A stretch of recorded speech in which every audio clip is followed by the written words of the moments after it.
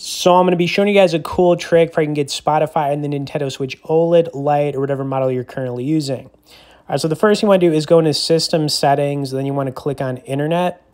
Now the next thing you want to do is click Internet Settings, and it's going to pull up, you know, the Wi-Fi you're currently connected to. Now you just want to click on that Wi-Fi, and then you're going to click on Change Settings. Next, you're going to want to scroll down to where it says DNS Settings, and you need to switch this from man to automatic to manual.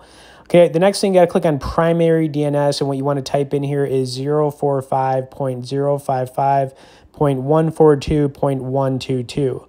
Now, when you do this, you just want to click Save.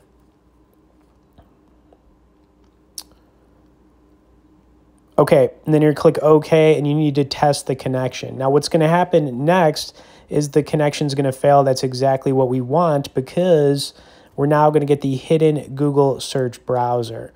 So we're just going to click on continue with Google.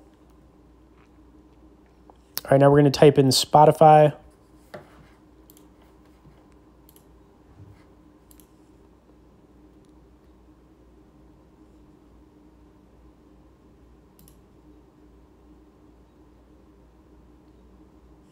Okay, and I'm going to click on the top option.